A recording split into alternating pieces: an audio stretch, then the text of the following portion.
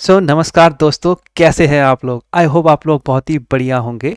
और मेरी पिछली वीडियो में जो मैंने बताया जिसमें मैंने बताया था कि देहरादून में भूलेख का भूलेख को कैसे देखें भूलेख वेबसाइट को कैसे देखें और उससे म्यूटेशंस कैसे पता करें यह वीडियो काफ़ी लोगों को पसंद आया। और उससे ज़्यादा पसंद आया मेरा उससे पहले वाला वीडियो जिसमें मैंने बताया था कि देहरादून में किन पाँच पॉइंट्स के हिसाब से आप प्रॉपर्टीज़ को पसंद करें। सो so, आज मैं एक ऐसा वीडियो लेकर आ रहा हूँ जो कि आपको और हेल्प करेगा प्रॉपर सही प्रॉपर्टीज़ को आइडेंटिफाई करने में। और स्पेशली एक पॉइंट था जिसमें बहुत कमेंट्स में मुझसे पूछ रहे थे मेरे सब्सक्राइबर्स कि आ, मेरे मैं यहाँ पे ज़मीन ले रहा हूँ या मैंने यहाँ पे ज़मीन ली है तो क्या वो किसी विवाद में तो नहीं है, कहीं इसमें कोई खसरे में कोई प्रॉब्लम तो नहीं है है ना? तो इस तरह का अगर कोई आपके पास कोई इशू है, इसके लिए सबसे ज़्यादा परेशान रहते हैं लोग। तो मैं एक छोटी सी एक आपको एक वेबसाइट बताने की कोशिश करूँगा, जिसमें आपको थोड़ा सा हेल्प मिल पाएगा इसमें, इस चीज़ को आइडेंटिफाई करने में। तो एक उत्तराखंड सरकार की ही एक वेबसाइट है, उत्तराखंड गवर्नमेंट की वेबसाइट है, जिसमें आप पता कर सकते हैं कि किसी खसरे में कोई रोक तो नहीं है। ठीक है ऑफिशियल वेबसाइट है जो कि बताती है आपको कि क्या किसी खसरे में रोक है या नहीं है। तो मैं ये नहीं कहता कि इस वेबसाइट में आ, जितने भी खसरे दे रखे हैं इसके अलावा किसी खसरे में रोक ना हो। हो सकता है कि इसके अलावा भी किसी खसरे में रोक हो लेकिन जिन जिन का इसमें लिस्टेड हो रखा है नाम जिन जिन खसरों का नाम इसमें लिस्टेड है इस वेबसाइट में उनमें तो पक्का ही रोक है उसमें तो कोई चांस ही नहीं है कि रोक नहीं है। ठीक है, इसके अलावा भी रोक हो सकती हैं, परंतु एक कहते हैं ना कि एक इनिशियल स्टेप जो आपको लेना होता है तो वो चीज़ आप इस वेबसाइट से चेक कर सकते हो। तो मैं आज आपको उसी वेबसाइट के बारे में बताऊँगा। ठीक है तो मैं आपको ले चलता हूँ उसी वेबसाइट पे।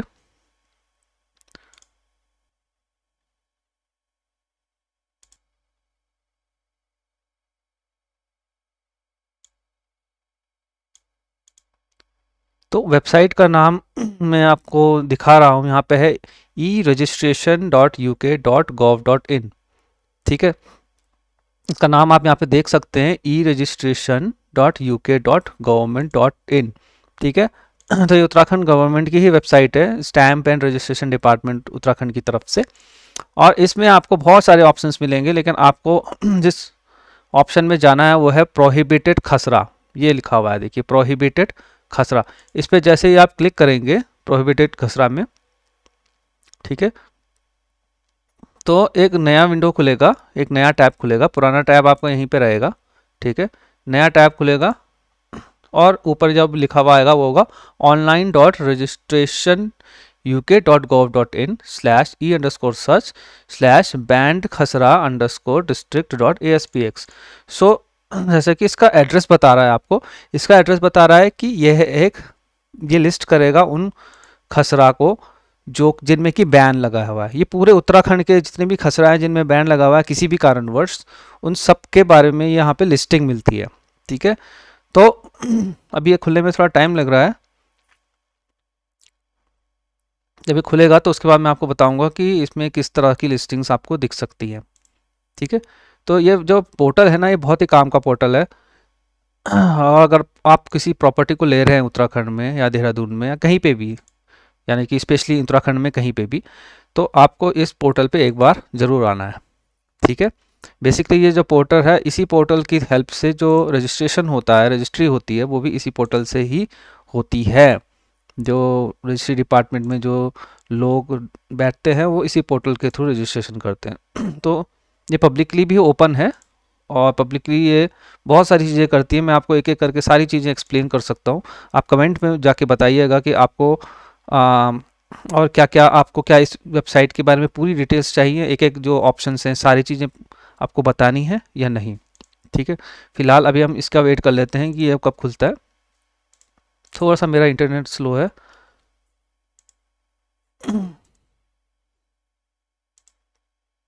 थोड़ा सा टाइम लग रहा है। मैं से अभी रिकॉर्डिंग को पॉज कर देता हूँ, ठीक है? ताकि वीडियो लंबी ना बने। और ये मेरा पेज खुल गया है, ठीक है? अब जैसे मेरा ये पेज खुला है ना, देखिए यहाँ पर पूरी लिस्टिंग आ गई है कि अल्मोड़ा में चार ज़मीनों में बैन लगा है, ठीक है? चार खसरा में बैन लगा है। बागेश्वर में एक में, चंपावत में नौ में, देहरादून में देखिए अट्ठाईस। अट्ठाईस, मैं थोड़ा सा जूम कर देता हूँ। थोड़ा और ताकि आपको अच्छे से दिखे, अगर जो मोबाइल में देख रहे हैं। तो देहरादून में लगभग 28 खसरों में बैन लगा हुआ है, ठीक है? पौड़ी गढ़वाल में 19 खसरों में बैन लगा हुआ है। हरिद्वार में 39 यानी कि उनचालीस खसरों में और नैनीताल में 23 खसरों में बैन लगा हुआ है, ठीक है? इसके नीचे इन्होंने डेटा दे रखा है कि एसआरओ के हिसाब से, एसआरओ वाइज डेटा दे रखा है कि देहरादून में विकासनगर में छः जगह पे है। विकासनगर के अंदर का देहरादून एक, दो, तीन, चार जोन में इनमें कोई बैन नहीं लगा है। देहरादून के जोन नंबर एक पे बाईस जगह पे बैन लगा है। तो ये पूरी लिस्ट इस तरह से दे रखी है। रामनगर में भी देखिए पाँच जगह पे बैन लगा हुआ है। ठीक है?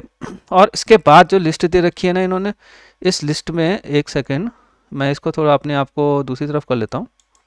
ठीक है? तो इस लिस्ट में अगर आप देखोगे तो पूरी विस्तार से दे रखा है। देखिए डिस्ट्रिक्ट यहाँ पे दे रखी है एस आर ओ यहाँ पे दे रखा है विलेज लोकेशन दे रखा है और किसने बैन लगाया है और दूसरे डिस्क्रिप्शन इसमें दे रखे हैं। तो यहाँ पे आप देखिए, इस इस वेबसाइट के इस कोने में जा कर के आप पूरी जानकारी ले सकते हैं कि कौन कौन से ज़मीनों में और कौन कौन से खसरे नंबर में जैन लगा तो मैं जैसे देहरादून में आके, आने की कोशिश करता हूँ यहाँ पे, देखिए। तो देहरादून में ही देख लेते हैं। मोहकमपुर में high court Delhi high court द्वारा देखिए, ठीक है? इन इन संपत्तियों में देखिए, बैन लगा हुआ है। ठीक है? तो आगे चल के अगर आप यहाँ पे धर्मपुर में अगर मोहकमपुर साइड अगर देख रहे हैं ज़मीन को तो आपको यहाँ पर पता चल जाएगा कि भाई इन इन संपत्तियों में आपको देखना है, इनमें बैन लगा हुआ है। और ये प्रोहिबिशन किसके लिए लगा हुआ है? पार्टीज़ के लिए लगा हुआ है बैन, ठीक है?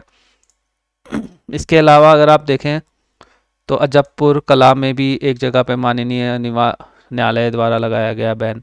ठीक है, मोथरोवाला में इनके द्वारा लगाया गया, देखिए।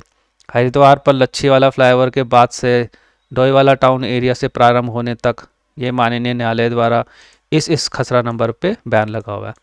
तो ये देखिए, मिट्टी भेरी में लगा हुआ है ब्लैन सिविल जज द्वारा अट्ठानवे और 104 खसवा नंबर पे। तो यहाँ पर देखिए कितनी महत्वपूर्ण जानकारी है, जो कि कोई नहीं बताता है। ठीक है? इस जानकारी को कोई बताता नहीं है और अगर कोई बता भी रहा है तो उसके पैसे ले रहा है। ठीक है?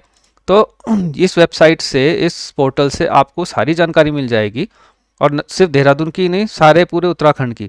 तो ये बहुत ही इंपॉर्टेंट मतलब मैं अपने इस यूट्यूब वीडियो चैनल से आपको एक ऐसी जानकारी दे रहा हूँ, जो कि काफ़ी लोग बताते नहीं हैं और सब कुछ ऐसे ही चल रहा है देहरादून में ना।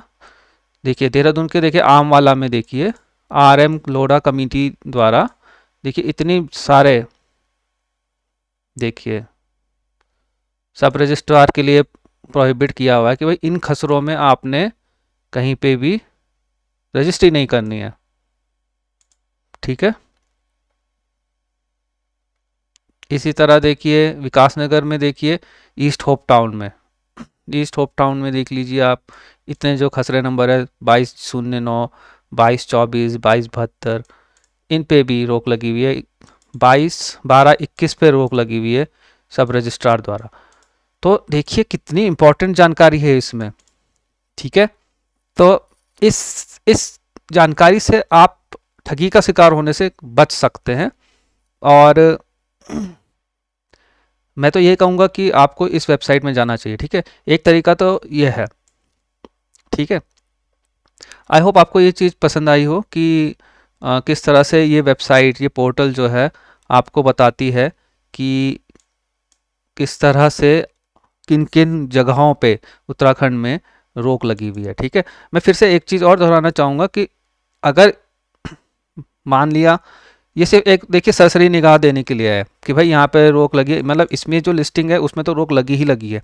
बाकी जो है, बाकी जगह पे भी आपको देखिए चेक करवाना चाहिए। मैं ये नहीं कह रहा कि अगर इस पर नहीं लग, लिखा है तो इसका मतलब आपकी ज़मीन पे या जो अभी आप प्रॉपर्टी देख रहे हैं, उसकी लीगल जाँच नहीं करवाए। मैं बिल्कुल ये रिकमेंड नहीं करूँगा, क्योंकि ऐसा भी हो सकता है कि इस लिस्टिंग में अपडेशन ना हुआ हो डिजिटली अपडेट नहीं हुआ, क्योंकि ये जो लिस्ट बनाते हैं, ये एक सरकारी अफसर बनाते हैं। तो कभी कभी इसमें ऐड होने में डिले हो जाता है। तो इसके भरोसे आप पूरी तरह से नहीं रहिए। लेकिन अगर आपका खसरा नंबर जो आप ख़रीदना चाह रहे हैं, वो इसकी, इसमें लिस्टिंग है, फिर तो आपको पूरी तरह से सचेत हो जाना चाहिए, मेरे हिसाब से। तो आई होप आपको ये वेबसाइट पता वेबसाइट पता हो करके आपको काफ़ी जानकारी मिली होगी। और मैं आप मैं उम्मीद करूँगा कि आगे चल के अगर आप कोई भी प्रॉपर्टी ले रहे हैं उत्तराखंड में या देहरादून में तो इस वेबसाइट पे आकर ज़रूर देखेंगे।